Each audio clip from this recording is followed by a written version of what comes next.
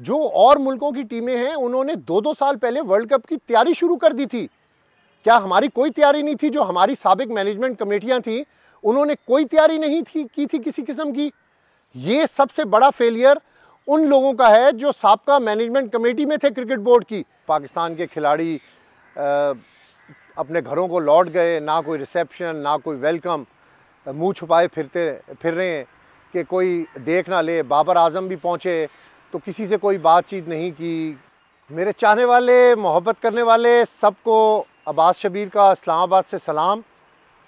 ICC world cup जारी है semifinals का इंतज़ार है और फ़ाइनल का खसूसी तौर पर मुझे इंतज़ार है और ये मेरी ख्वाहिश है कि भारत फ़ाइनल के लिए क्वालिफाई करे फ़ाइनल में भारत को कामयाबी मिले क्योंकि सब कॉन्टीनेंट की टीम है और अगर पाकिस्तान नहीं पहुँचा, श्रीलंका नहीं पहुँचा, बांग्लादेश नहीं पहुँचा, अफ़गानिस्तान नहीं पहुँचा, तो तमाम तर जो हमदर्दियाँ हैं और तमाम तर जो सपोर्ट है, वो इंडियन टीम के लिए है और हमारी ख्वाहिश है कि इंडियन टीम इस वर्ल्ड कप में कामयाब हो। ये ख्वाहिश क्यों है? क्योंकि परफॉर्मेंस बेस्ड मैं बात कर रहा हूँ। जो परफॉर्मेंस इस वक्त भारत की टीम की पूरे वर्ल्ड कप में है, वो परफॉर्मेंस किसी टीम की भी नहीं है और भारत डिज़र्व करता है कि वर्ल्ड कप का फ़ाइनल जीते। तो best of luck India semifinal के लिए आप लोगों को न्यूजीलैंड से एक अहम मैच होगा आप लोगों का। और उसमें मुझे उम्मीद है कि जिस तरह नैदरलैंड के साथ इंडिया ने मैच खेला है, उसी तरह उसी पैशन के साथ और उसी इश्क के साथ टीम इंडिया सेमीफाइनल भी खेलेगी और टीम इंडिया फ़ाइनल भी उसी पैशन के साथ खेलेगी और फ़ाइनल के लिए पहले क्वालिफाई करेगी और फिर फ़ाइनल में कामयाबी हासिल करेगी। लेकिन एक अफ़सोस की बात यह है कि पाकिस्तान टीम को नाकामी का मुँह देखना पड़ा सिर्फ़ अपने नॉन सीरियसनेस एटीट्यूड की वजह से। वो पैशन के साथ नहीं खेल सके, जिसकी वजह से पाकिस्तान टीम को नाकामी हुई और पाकिस्तान के खिलाड़ी अपने घरों को लौट गए। ना कोई रिसेप्शन ना कोई वेलकम मुँह छुपाए फिरते, फिर रहे हैं कि कोई देख ना ले। बाबर आज़म भी पहुँचे तो किसी से कोई बातचीत नहीं की। ना लोगों की तरफ़ से कोई ऐसा जोश व खरोश नज़र आया क्योंकि टीम कौन सा जीत कर आई है? टीम ने कौन से मेडल्स लिए हैं? टीम ने कौन सा मुल्क का नाम रोशन किया है? कि हम कहें कि बड़ी खुशी हुई है इन खिलाड़ियों की हमें पाकिस्तान पहुँचने की। अब असल मसला है बाबर आज़म की कप्तानी का। अब बात अटक रही है बाबर आज़म की कप्तानी की क्योंकि पाकिस्तान क्रिकेट बोर्ड बाबर आज़म को कप्तान नहीं देखना चाहता। बहुत सारे ऐसी चीज़ें रखी गई हैं सामने, जिस पर बाबर आज़म की कप्तानी पर बहुत सारे क्वेश्चन मार्क्स हैं। बाबर आज़म की परफॉर्मेंस एज अ प्लेयर तो बहुत आउटस्टैंडिंग है। गुज्त तीन चार सालों में देखें तो बहुत ही अच्छी परफॉर्मेंस है। किंग का ख़िताब भी बाबर आज़म को मिला शाहीन को भी ख़िताब मिले, बहुत सारे लड़कों को ख़िताब मिले, लेकिन जब आप किसी बड़े टूर्नामेंट में परफॉर्म नहीं करते हैं तो ये आपके ख़िताबात जो हैं ये वापस ले लिए जाते हैं। तो इसलिए अब पाकिस्तानी कौम बाबर आज़म को किंग नहीं समझती और बाबर आज़म को ये मशवरा दे रही है कि अब आप अपनी फॉर्म को वापस लेकर आएँ और आप as a individual as a player team में परफॉर्मेंस दें ताकि पाकिस्तान को मज़ीद कामयाबियाँ मिल सकें। बाबर आज़म टीम के लिए एज अ कैप्टन क्यों अच्छे नहीं हैं? इंडिविजुअल मैं आपको बता रहा हूँ कि उनकी परफॉर्मेंसेस की लिस्ट है। उन्होंने जिस जिस टूर्नामेंट में पाकिस्तान की कप्तानी की जिस टूर्नामेंट में उनकी परफॉर्मेंस रही वो सब एक पूरी लिस्ट है। उससे नहीं बिल्कुल छुपा जा सकता उस बात से इनकार नहीं किया जा सकता कि बाबर आज़म एक बड़ा प्लेयर नहीं है। बाबर आज़म बेशक एक बहुत बड़ा प्लेयर है लेकिन Babar Azam is not a good captain Babar Azam की कप्तानी का सूरज गुरूब हो रहा है। आ, किसी और नए कप्तान का सूरज अब चढ़ेगा। आइंदा एक दो दिनों में मैं इसी प्लेटफॉर्म से आपको ख़बर भी दूँगा। लेकिन बाबर आज़म की कप्तानी का सूरज क्यों गरूब हो रहा है? क्या वजूहत हैं कि बाबर आज़म पर अदम अतमाद किया जा रहा है और बाबर आज़म को कप्तानी से हटाए जाने का सोचा जा रहा है? या तो बाबर आज़म ख़ुद अपना रिज़ाइन दे दें, या तो बाबर आज़म को बहुत सारी वजूहत सामने रख कर इस्तीफ़ा उनसे लिया जाएगा और उनको हटाया जाएगा। तो इसलिए पहला ऑप्शन ये है कि बाबर आज़म एक अच्छे प्लेयर हैं, पूरी दुनिया में उनका एक बड़ा नाम है। वो नाकाम हुए हैं, वो अपनी नाकामी का एतराफ़ करते हुए अपना इस्तीफ़ा दें और कहें कि जी, मैं कप्तान नहीं रहना चाहता। मैं एज आ इंडिविजुअल अपनी टीम में परफॉर्म करूँगा। जिस मर्ज़ी को कप्तान बनाए, मैं उस कप्तान की सपोर्ट करूँगा। लेकिन बाबर आज़म को कप्तानी से क्यों हटाया जा रहा है? बाबर आज़म की कप्तानी से हटाए जाने की सबसे बड़ी वजह यह है कि बाबर आज़म ने पूरे वर्ल्ड कप में, बल्कि अपने कैरियर के पिछले दो सालों में अगर हम देखते हैं तो बाबर आज़म ने इंडिविजुअल इनिंग्स खेली, अपनी ज़ात के लिए इनिंग्स खेली, अपना स्कोर बढ़ाने के लिए इनिंग खेली, अपना रिकॉर्ड बनाने के लिए इनिंग खेली। पाकिस्तान के लिए उन्होंने इनिंग नहीं खेली। पाकिस्तान के लिए अगर वो इनिंग खेलते विनिंग बैट कैरी करते तो फिर साबित हो सकता था कि बाबर आज़म कैप्टन के साथ एक बहुत बड़ा प्लेयर भी है। लेकिन अगर आप पास्ट रिकॉर्ड देखें बाबर आज़म का तो बाबर आज़म अपनी ज़ाती बैटिंग के ऊपर ज़्यादा तवज्जो देते रहे, अपने रन रेट पर तवज्जो देते रहे, अपनी सेंचुरियों पर तवज्जो देते रहे, उनको टीम की फ़िक्र नहीं थी।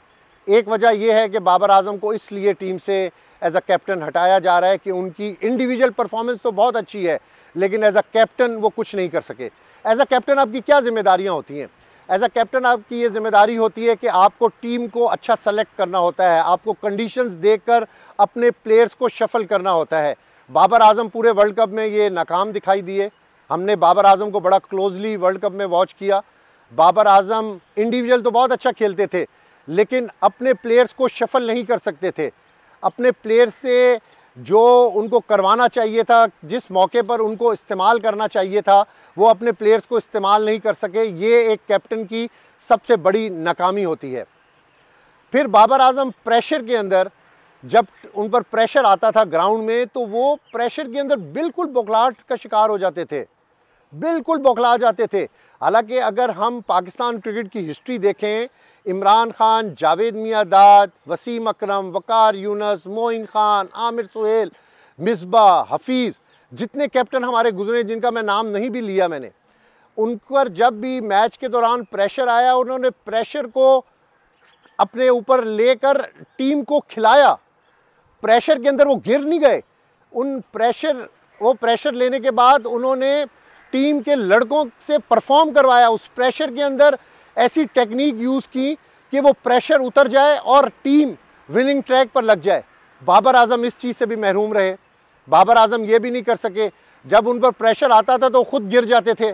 तो ज़ाहिर बात है, जब कप्तान गिर जाएगा तो खिलाड़ियों ने और टीम ने क्या परफॉर्म करना है? फिर बाबर आज़म पर जो तीसरा अहम पॉइंट है, बाबर आज़म टीम की सिलेक्शन के अंदर जो जिद करते रहे, उन्होंने सिलेक्शन अपनी दुरुस्त साबित नहीं की। हारिस रऊफ़, शादाब खान, हसन अली, इमामुल हक। ये चार प्लेयर्स के मैं नाम ले रहा हूँ, जिनको बाबर आज़म ने अपनी ज़िद के ज़रिए वर्ल्ड कप स्क्वाड में शामिल करवाया। ज़िद में आकर उन्होंने बेंच पर अच्छे प्लेयर्स को बिठाया और इनको यूटिलाइज करते रहे, जिनकी कोई परफॉर्मेंस नहीं ज़ीरो परफॉर्मेंस रही। ये बाबर आज़म पर सबसे बड़ा एक मुद्दा है कि बाबर आज़म ये भी नहीं कर सके। जो तीसरी अहम बात कि बाबर आज़म को पाकिस्तान जाने से पहले पाकिस्तान में इंडिया जाने से पहले ये ऑफ़र दी गई थी मैनेजमेंट कमेटी की तरफ़ से कि जो भारत की कंडीशंस हैं, उसमें स्पिन बहुत ज़्यादा कारामद होगा। स्पिन बॉलर्स को यूटिलाइज करें स्पिन बॉलर्स को लेकर जाएँ। यहाँ तक कि उनको ऑफ़र थी कि आपको स्पिन बॉलिंग का एक कंसल्टेंट दे देते हैं, क्योंकि इंडिया में जो कंडीशंस हैं, उसमें स्पिन, बाकी टीमों ने देखें कि किस तरीके से अपने स्पिन बॉलर्स को यूज़ किया और कहाँ से कहाँ वो टीमें निकल गई। लेकिन बाबर आज़म भी इस बात पर जिद थे, बजिद थे कि वो स्पिन बॉलिंग कोच नहीं लेकर जाएँगे, क्योंकि वो उस एनेक्सिस से निकल ही नहीं पाए, वो किसी और को अंदर शामिल ही नहीं होने देना चाहते थे, जिसकी वजह से टीम को बहुत नुकसान हुआ और उन्होंने मना किया, जी, मैं स्पिन कोच को नहीं लेकर जाऊँगा। अब बात करते हैं मैनेजमेंट की, जो गुज्त दो सालों से क्रिकेट बोर्ड को संभाल रही थी। पूरी दुनिया की टीमों ने डेढ़ साल, दो साल पहले वर्ल्ड कप की तैयारी शुरू कर दी थी। क्या पाकिस्तान ने वर्ल्ड कप की तैयारी नहीं की थी? क्या जो सबका मैनेजमेंट्स थी, अब तो जका अशरफ साहब के ऊपर बड़ा ब्लेम हो रहा है, बड़ी तनकीद की जा रही है और खामोखा की तनकीद की जा रही है। क्या जका अशरफ साहब तो एशिया कप पर उन्होंने ज्वाइन किया टीम को? इससे पहले क्या हमारी वर्ल्ड कप की कोई तैयारी नहीं थी?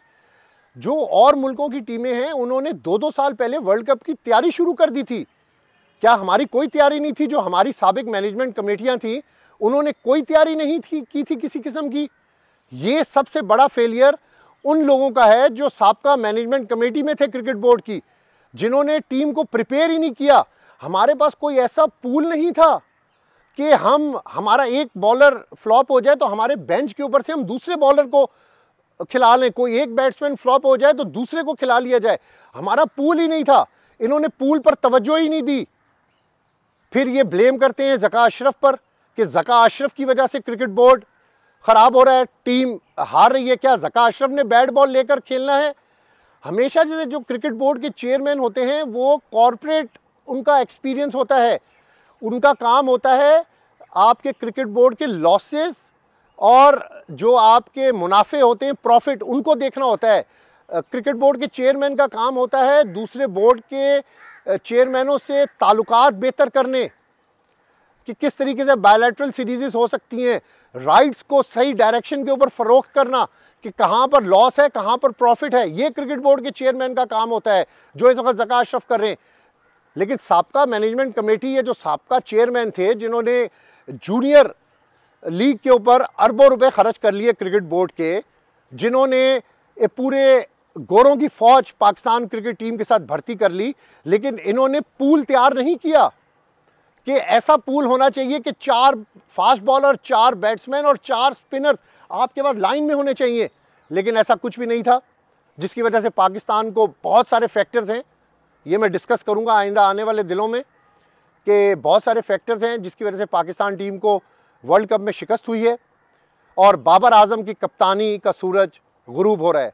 मैंने आपको वजूहत बताई हैं कि एज अ इंडिविजुअल तो बाबर आज़म बहुत अच्छे प्लेयर हैं, लेकिन as a captain Babar Azam team को नहीं उठा सके तो इसलिए बाबर आज़म को तब्दील करने का फ़ैसला कर लिया गया है। Thank you very much Abbas Shabbir को इजाज़त दीजिएगा। अल्लाह ने के बाद